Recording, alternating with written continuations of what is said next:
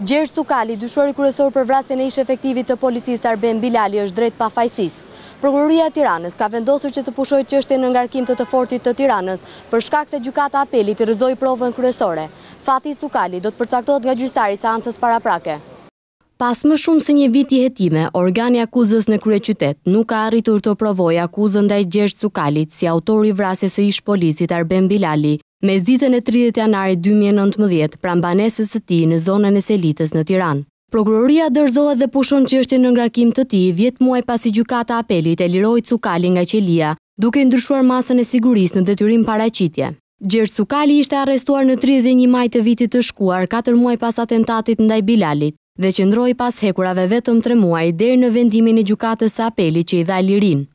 Në këtë vendim ndikoi shumë analiza e ADN-së për identifikimin e dyzet e një vjeçarit që sipas togave të zeza ishte kryer në mënyrë të paligjshme. Në procesverbalin e paraqitur nga policia thuhet se është gjetur një bidon me ujë në makinën që u përdor nga autorët në ngjarje dhe në këtë objekt janë gjetur gjurmë biologjike. por pa e specifikuar se në çfarë vendi konkret është gjetur kjo gjurmë. Gjithashtu ekspertët e kanë krahasuar pështymën që u gjet në bidon me ADN-në që ishte bërë më herët Cukalit për ngjarjet e tjera ku ishte i përfshirë. Togat e zeza të Apelit kanë theksuar se këqyrja e automjetit tip Benz që u përdor nga autorët për vrasjen, nuk është bërë në vendin ku është gjetur, por është kontrolluar pasi e kanë transportuar në një garazh të policisë. Po ashtu sipas apelit, Gjergj Cukali është arrestuar vetëm me iniciativën e policisë, bazuar tek prova biologjike, pa pasur një urdhër prokurorie.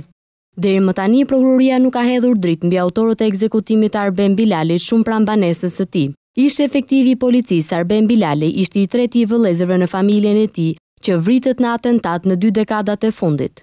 Familja Bilali prej shumë vitesh është në hasmëri me një tjetër familje në zonën e Yzberishtit në Tiranë. Prej këtij konflikti që daton në vitin një mijë e nëntëqind e nëntëdhjetë e katër numërohen disa të vrarë nga të dyja palët.